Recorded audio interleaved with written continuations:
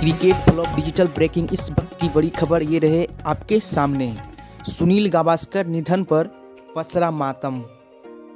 भारत के पूर्व कप्तान और मशहूर क्रिकेट कमेंटेटर सुनील गावस्कर की घर पर मातम छा गया है। सुनील गावस्कर के परिवार के एक बेहद खास सदस्य ने अचानक दुनिया को अलविदा कह दिया है।